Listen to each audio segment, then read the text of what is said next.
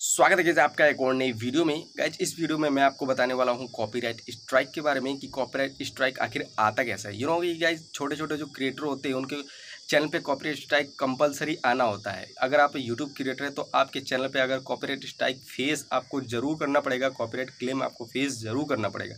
ठीक है? तो इसी टॉपिक पर गाइज़ ये वीडियो है तो प्लीज़ इस वीडियो को एंड तक देखिए, बहुत ही ज़्यादा नॉलेजेबल वीडियो है। तो गाइज़ चैनल पर नए हो तो चैनल को सब्सक्राइब कर दो।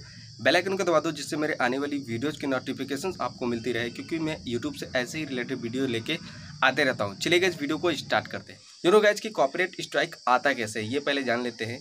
देखिए गैज क्या होता है कि जो नए नए क्रिएटर होते हैं, वो क्या करते हैं कि बॉलीवुड सॉन्ग यानी कि जो बॉलीवुड सॉन्ग होते हैं, उनको डायरेक्ट अपनी वीडियो में यूज़ कर लेते हैं। क्लिप जो होता है, कोई फ़िल्म का शॉट हो गया, या तो कोई कॉन्सर्ट वगैरह हो गया तो कोई लाइव चल रहा है, उसको टी रिकॉर्ड करके अपनी वीडियो क्लिप में उसको यूज़ कर लेते हैं। तो होता क्या है जो कंपनी होती है, वो डायरेक्ट कॉपरेट स्ट्राइक लगा देती है उस चैनल के ऑनर पे, ठीक है?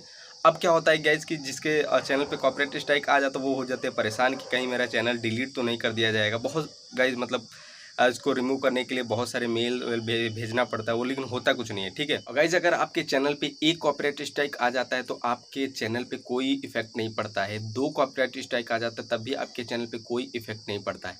लेकिन जहाँ पे आपके चैनल पे अगर तीन कॉपीराइट स्ट्राइक आ जाता है तो आपका चैनल जो होता है, वो यूट्यूब की तरफ़ से हमेशा के लिए टर्मिनेट कर दिया जाता है।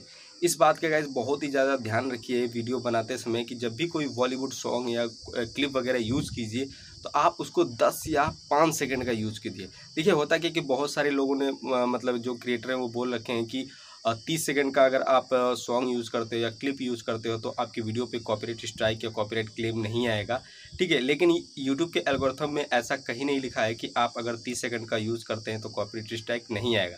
ठीक है, होता क्या है कि जो छोटे छोटे क्रिएटर होते हो ऐसे देख के और पूरा पूरा सॉन्ग अपने वीडियो में यूज़ कर लेते हैं, जिसकी वजह से उनके वीडियो पे कॉपीराइट आ जाता है, ठीक है? तो जब भी गाइज़ आप वीडियो बनाइए तो प्लीज़ अगर आप बॉलीवुड सॉन्ग यूज़ कर रहे हैं, कोई भी किसी का भी वीडियो अगर यूज़ कर रहे हैं तो दस या पाँच सेकेंड बहुत ही ज़्यादा है, ठीक है? अगर आप किसी क्रिएटर का परमिशन लेके अगर आप वीडियो यूज़ कर लेते हैं, तब तो बहुत ही अच्छी बात है। लेकिन इस बात का ध्यान रखिए गाइज़ कि जब भी आपकी वीडियो पर कॉपीराइट स्ट्राइक आ जाता है तो वो तीन कॉपीराइट स्ट्राइक नहीं आना चाहिए, वरना आपका चैनल हमेशा के लिए टर्मिनेट कर दिया जाएगा। अब बात आती है कि इसको रिमूव कैसे करें? देखिए क्या होता है कि कॉपीराइट स्ट्राइक आ जाता है तो ये तीन महीने बाद अपने आप ही रिमूव हो जाता है। अगर आपके चैनल पर दो कॉपीराइट स्ट्राइक है गैस तो बहुत ही ज़्यादा केयरफुली से वीडियो बनाइए, क्योंकि तीन अगर कॉपीराइट टेस्ट आ गया तो चैनल टर्मिनेट हो जाएगा, या तो आप तीन महीने वेट कीजिए, ठीक है? तो तीन तीन महीनों में आपको बहुत ही ज़्यादा ध्यान से वीडियो बनाना है, जिसकी वजह से कोई अगला कॉपीराइट ना आए, ठीक है? तो इन चीज़ों का गाइज़ बहुत ही ज़्यादा ध्यान देना होता है। अदरवाइज़ ज़्यादा टेंशन लेने की बात नहीं होती है ठीक है? करते हैं।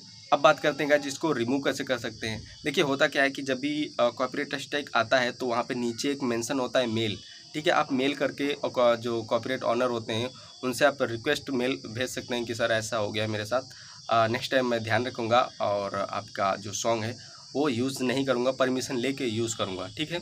तो आई होप गाइज़ आप लोग अच्छे से समझ गए होंगे। तो प्लीज़ गाइज़ कुछ भी डाउट या क्वेश्चन है तो कमेंट बॉक्स में बताइए, मैं उसका रिप्लाई ज़रूर करूँगा।